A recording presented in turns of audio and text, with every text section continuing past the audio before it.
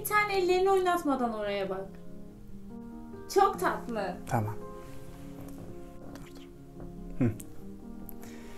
Ey yeryüzü, lerzesiz ve sessiz halinle ne güzelsin ey yeryüzü.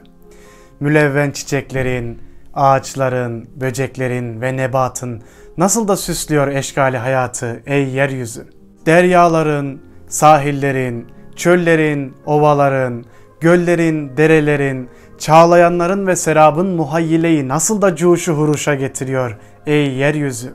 Üzerinde uçuşan kuşlar, kuğular ve leylekler tam vakti şarkılar söylüyor, serenat yapıyor sana ey yeryüzü. Gündüz güneşin parlaklığı, gecede mahın yansıyan nuru ile nasıl da kusursuzsun ey yeryüzü. Denizler enginliğini, ovalar yumuşaklığını, dağlar ihtişamını, vadiler sükutunu, kayalar kararlılığını, mağaralar da ketumluğunu gösteriyor ey yeryüzü. İnsanoğlu sana teşekkür bile etmeden denizlerini ve topraklarını nasıl da pervasızca kullanıyor ey yeryüzü. İnsanların sana reva gördüğü bunca zulme rağmen sen ise bereketini ve hazinelerini halen insanoğluna sunmaya devam ediyorsun. Dışın ne kadar da sakin ve parlak ise de için lerze lerze bir zulmetten başka zulmete kapılar açıyor. İlkbaharda güzel kokulu çiçeklerinle, yazın cömertçe sunduklarınla, sonbaharda elinin açıklığıyla, kışında bembeyaz saflığınla nasıl da ışıldıyorsun ey yeryüzü.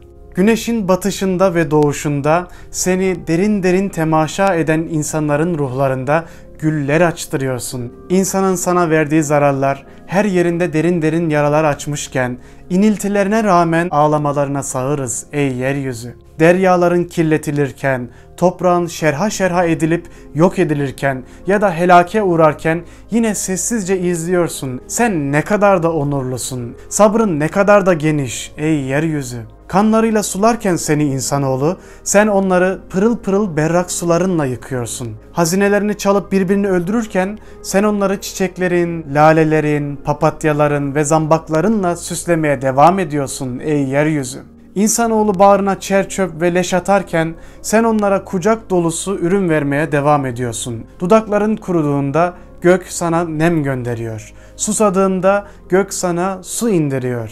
Baharla aşırı terlediğinde gök seni güneş şefkatiyle kucaklıyor. Sen ise insanoğluna hayat adlı en güzel varlığını sunuyorsun. İnsanoğlunun hüznü ve sevinci, hayatı ve düşüncesi, gecesi ve gündüzüsün ey yeryüzü. Daha ne zamana kadar sabredecek ve şefkat göstereceksin? Yorgunsun belli. Yüzyıllardır insanlarla boğuşuyorsun.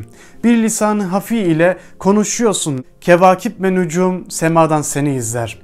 Matem dolu diyarların halini sana anlatırlar. Şimdi zuhur eden tüm marazların ve illetlerin müsebbibi bizzat insanın kendisi. Fakat yükünü çeken yine sensin ey yeryüzü.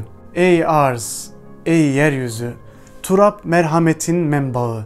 Su kadar aziz olan, teyemmümle temizliğin nişanesi olan, hüzne ve mateme gark olma, lal durma, sükut etme böyle. Yeniden doğsun güneş pırıl pırıl, ışıkları çiğlerle raks etsin, çiçekler açsın, dereler aksın, ırmaklar çağlasın, denizler coşsun, kuşlar ötsün ve insanlık cıvıltısı tabiat senfonisiyle yeniden buluşsun. Feraseti açılsın Ademoğullarının. Merhamet nazarından esinlensin birazcık. Kadru kıymetini bilsin ki ebedi istirahatgahında yoldaş olasın yine rahmetinle. Evet sevgili dostlar, bu kıymetli yazı Turan Kışlakçı'nın İstiklal Gazetesi'ndeki son yazılarından birisi. Sizlerin istifadesine arz etmiş oldum. Ben Bilal İşgören. Sağlıklı günler diliyorum. Hoşçakalın.